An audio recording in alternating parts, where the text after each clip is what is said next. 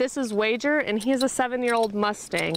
Uh, so he's been with us for a couple of months now, and uh, he had a rough start here at the ranch. He was very untrusting, really didn't want a whole lot to do with any of us, but over time, the staff and I have won him over, and he's really coming around.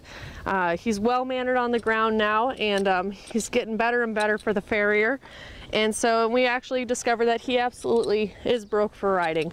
Uh, he prefers to ride outside. He's definitely more comfortable out here. He's comfortable crossing rough terrain and up and down steep slopes. Um, he's pretty much what they've said about Mustangs as far as they've got great brains and they've also got great feet. He would be a fantastic trail horse or ranch horse. He could he could really go in any direction. He's got the mind to do it. He would definitely require a more experienced handler at this time. He seems to be the type of horse that he wants to pick a couple of people to bond with. And so an ideal adopter would be okay with coming out a couple of times before um, deciding on him, moving forward with him, just to make sure that the two of you have a connection and click.